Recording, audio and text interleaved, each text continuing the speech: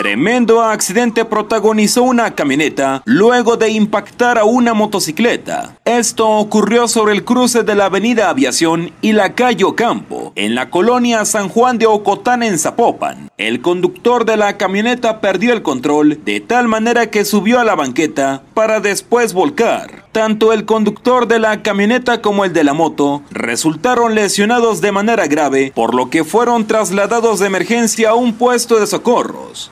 Sí, lo que pasa es que acá a un semáforo antes en las vías del tren, el chavo de la Nissan se le quiso meter al de la moto y como el de la moto no lo dejó, lo quiso aventar. Y el de la moto alcanzó a estabilizar allá atrás. Y el de la moto empezó a acelerar para llegar aquí a, pues para tratar de salir, pues. Y cuando iba llegando aquí, aquí a donde está el camellón, el, el, de la moto iba acelerando, el de la Nissan se le pasó al otro carril y lo aventó hasta, pues lo aventó pues. Y por eso fue a dar la Nissan hasta allá y la motocicleta quedó aquí tirada. Entonces fue intencional. Fue, sí. fue queriendo, sí, fue intencional.